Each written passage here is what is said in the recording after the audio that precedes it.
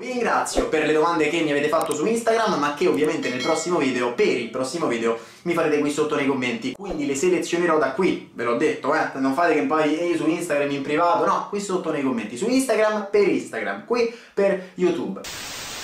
3, 2, 1, 3, 2, 1, 3, 2, 1, 3, 2, 1. Ok, sto esagerando. Salve a tutti ragazzi e ben trovati qui sul mio canale dopo questo inizio, devo dire, realmente poco sobrio. Siamo tornati con un video in cui risponderò ad un po' di vostre domande calcistiche perché vi ricordo che su Instagram, e vi invito a seguirmi, rispondo ogni tanto a tutto e, e a volte anche voi mi rispondete, cioè sono io stesso a farvi delle domande. Qui su YouTube invece ho deciso di rispondere a qualche domanda calcistica ogni tanto, una volta ogni due settimane, una volta ogni tre settimane, una volta ogni quanto mi va e quindi eh, voi gentilmente probabilmente, ma in realtà no, su, su minaccia mia, nello scorso episodio mi avete lasciato sotto il video le domande appunto nei commenti e vi dico già prima di partire di farmi una vostra domanda qui sotto nei commenti in modo che io possa selezionarla per un prossimo video all'interno del quale risponderò alle vostre domande. Prima di partire con le domande però volevo parlarvi di una cosa davvero molto interessante perché questo video esce di venerdì e quindi vigilia del ritorno della Serie A post pausa delle nazionali. Tra l'altro l'ottava giornata sarà molto interessante perché la gara di cartello cartello che spicca maggiormente è Napoli-Milan e tra l'altro ve la commenterò in live su YouTube domenica sera. Però il match del San Paolo non è l'unico interessante della giornata, ce ne sono molti altri. E infatti volevo invitarvi a fare dei vostri pronostici, ma non qui sotto nei commenti o chissà dove.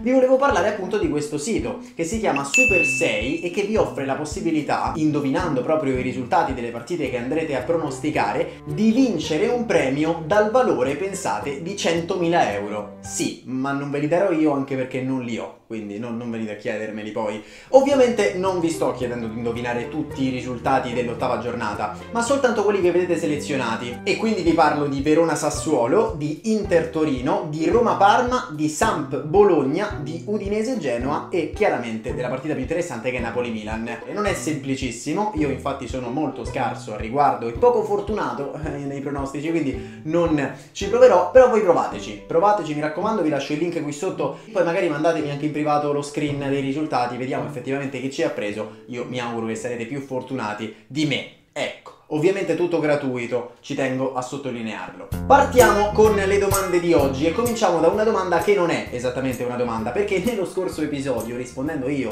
eh, ad una domanda che mi era stata fatta sulla mia famiglia, che detto così sembra anche brutto, in realtà la domanda era ma tutti nella tua famiglia ti fanno Roma? E io ho spiegato un po' l'albero genealogico tifoso. Di conseguenza poi ho chiesto a voi di scrivermi nei commenti com'è la situazione nella, nella, vostra famiglia. Mi ha fatto molto ridere il commento del talismano, perché mi scrive mio padre e mia sorella ti fanno Juventus, mia madre ti fa Cagliari, zii e cugini Milan, Inter e Cagliari, io Roma. Cioè in pratica tu dentro casa c'hai un campionato di Serie A, fate un torneo a FIFA, non lo so, inventatevi qualcosa. Direi che adesso possiamo partire con le vere e proprie domande di questo video. Partirei da Vincenzo che mi chiede quale sarà il primo allenatore esonerato in Serie A. È una domanda che ovviamente lui mi fa eh, prima dell'esonero di Iachini e del ritorno di Prandelli, quindi correggiamola leggermente. Ti dico il prossimo allenatore che secondo me verrà esonerato. Ovviamente non ho la palla di cristallo, mi auguro per lui di no. Però onestamente una panchina che vedo abbastanza a rischio in questa fase è quella del Torino. E quindi ti parlo del buon vecchio eh, Giampaolo che ehm, alla Samp ebbe un momento del genere, no? Quindi eh, i risultati non venivano, si parlava di esonero, tra l'altro mm, mi piace ricordarlo e lo sto facendo in questa trasmissione che abbiamo iniziato con Dab in live su Twitch, ve la lascio tra l'altro qui sotto in descrizione. Eh, abbiamo parlato un po' del Torino proprio nell'ultima puntata di, di, lunedì, ce ne sarà un'altra anche oggi alle 18, siamo live lunedì e venerdì dalle 18 alle 19 e quando ci sono Champions ed Europa League anche il mercoledì dalle 18 alle 19 sempre per parlare di coppe europee. Però parlavamo del Torino che giocherà in casa dell'Inter e quello che dicevo io è eh, è vero che Giampaolo ha avuto questi momenti eh, down, tra virgolette, anche sulla panchina della Samp. Però lì era un Giampaolo diverso, era un Giampaolo sicuro del suo gioco, che aveva anche giocatori all'altezza del suo gioco e di conseguenza poi nella stessa stagione di crisi riuscì anche eh, a togliersi delle importanti soddisfazioni e ad essere conosciuto come quello che poi è riuscito ad attirare su di sé le attenzioni del Milan che lo ha preso, lo ha messo in panchina, non gli ha costruito una squadra, non gli ha dato del tempo e lo ha esonerato. Giampaolo quindi viene già da un momento abbastanza eh, di, di, involuzione sotto quel punto di vista. L'inizio al Torino è più negativo che positivo. Io non credo che sia stato fatto un mercato all'altezza in estate, perché basti pensare che il regista alla Giampaolo dovrebbe essere Rincon, quindi il problema è più societario dal mio punto di vista, quindi di mercato che di allenatore.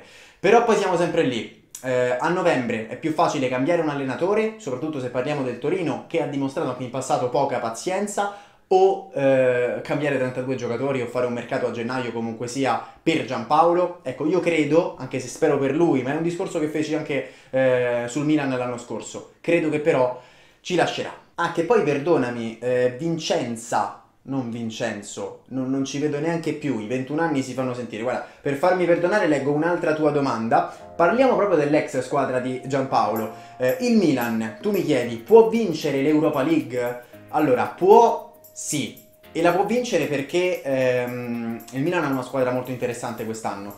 Ehm, Ibra e Pioli arrivati a gennaio della passata stagione, ovviamente chi mese prima, chi mese dopo, ehm, hanno con il tempo preso sulle spalle una squadra che sta crescendo sempre di più.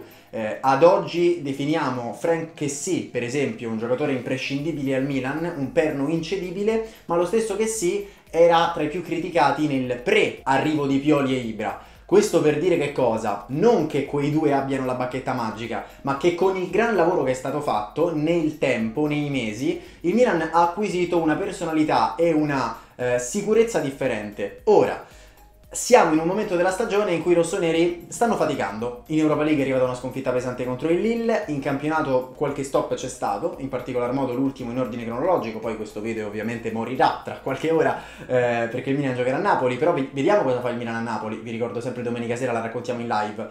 Serve una reazione di carattere. Poi la stagione è lunghissima. Io non credo che il Milan vincerà lo scudetto alla fine. Perché per vincere uno scudetto devono mettersi insieme troppi fattori ma l'Europa League, se presa seriamente, e io credo che ad un certo punto bisognerà fare quella scelta lì, quantomeno si può vincere, ovviamente non possiamo dire con certezza che il Milan vincerà l'Europa League, per il semplice fatto che eh, scenderanno dalla Champions eh, a dicembre alcune squadre che presumibilmente lotteranno per arrivare fino in fondo, dipenderà dai sorteggi, dal momento in cui i rossoneri affronteranno l'altra squadra, in che momento sarà l'altra squadra, insomma non possiamo fare pronostici, però la può vincere. Almeno questo è il mio punto di vista, ma ovviamente vi chiedo il vostro qui sotto nei commenti. Così come vi chiedo anche di farmi sapere secondo voi quale sarà, tornando alla domanda di prima, il prossimo allenatore a venire esonerato. Usciamo un attimino dalle domande di calcio reale, spostiamoci sul nostro calcio, quello che piace a noi, eh, il derby degli youtuber. Perché eh, Sonia mi chiede, ecco, sta diventando un video al femminile questo.